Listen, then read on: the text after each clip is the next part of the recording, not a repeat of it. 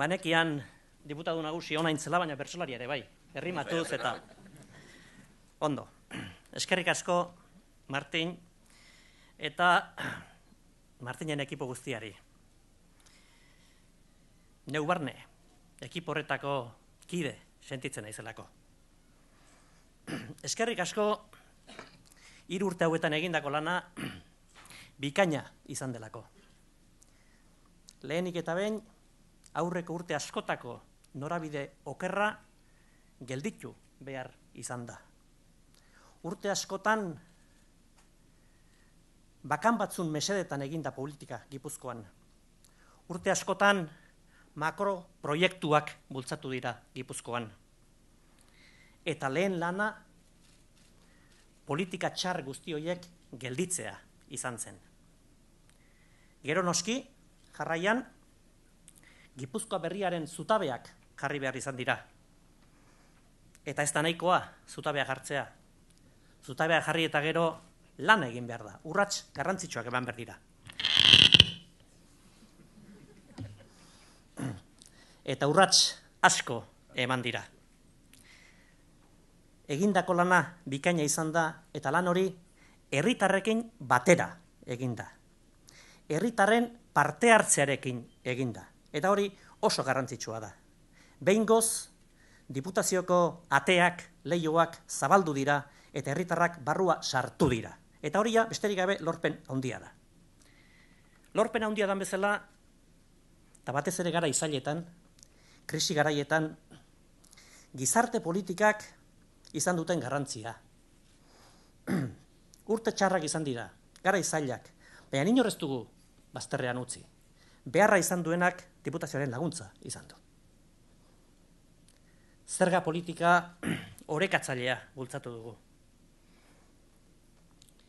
Garbi daukagu, gehien daukanak gehiago eman behar duela, gutxi daukanak ere zerbitzu duinak jaso ditzan.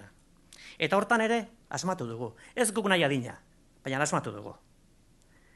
Zer esan lurralde orekari buruz Gipuzkoa lurralde orekatua da.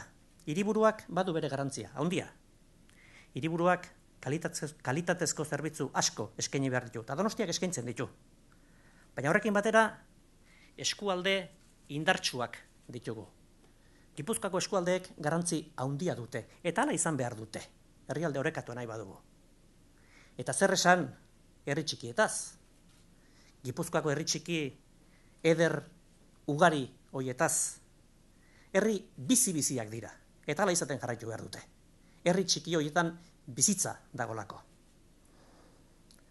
Lorpen guzti hauetan lehen lerroan aritzu zan etenoi eskerrak eman behar dizkizuet. Martin, nola ez? Eta Martinekin batera lehen lerro osatu duten ekipo guztiari.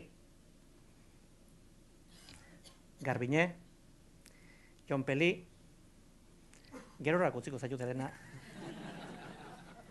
Ikerne, Ander, Iñaki, eta hemen ez egon arren Juan Karrere gogoratu nahi dut. Eta larraitz gaur hemen ez dagoena. Eta nola ez, azkenik, Elena, gertuko lankide kutxuna.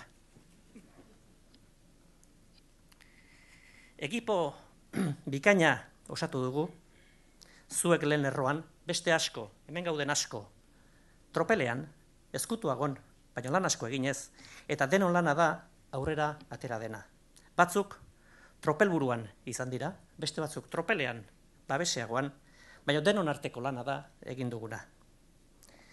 Ekipo bikain horrek iraganen egindako lana gogoratu behar dugu, egunean, presentean, gaur egun egiten ari dena ere bai, eta etorkizunean egingo duena ere bai. Batzuk joango dira, beste batzuk etorriko dira, baina Gipuzko berriaren proiektu horrek hor jarraituko du indartsu eta tinko. Etorkizuneko Gipuzko hori kolorez betea ikusten dugu. Kolore berdea ikusten dut nagusi. Ingurumenarekin errespetuz, naturarekin errespetuz, eta bizitza alik eta naturalena eginez denok ere. Baina kolore berde horrek beste tonu batzuk ere behar ditu. Tonu gorriztak ere behar ditu. Politika fiskaletik, politika sozialetik, tonu gorrizta horiek sar daitezke. Gipuzkoan politika solidarioak egin behar dira, politika orekatuak egin behar dira. Eta hortarako tonu gorriak ere beharrezkoak dira.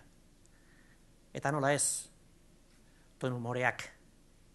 Gipuzkoako herrialdean emakumeak eta gizonezkoen arteko diferentziak gainditu egin behar ditugu.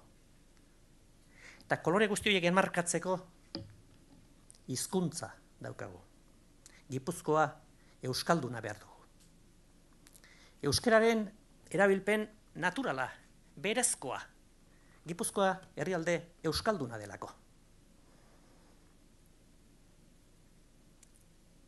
Hori guztia egiteko tropel burura pasatzea eskatu didazue. Orain arte tropelean eta beste batzun babesean ibili gara, baina ezin da beti babesean ibili, eta batzutan aurrera pausa eman behar izaten da. Presnago. Eta saiatuko naiz zuek emandako konfiantza horri eusten, eta konfiantza horri erantzuten.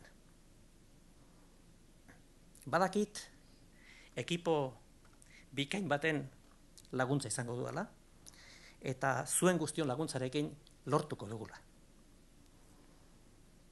2000 amaikako maiatzean, ekipo guztionek Gipuzkoako klasika irabazi zuen, eta diferentzia hundiz gainera. 2000 amabosteko maiatzean berriro irabaziko dugu eta zuen guztion laguntzaz lortuko dugu.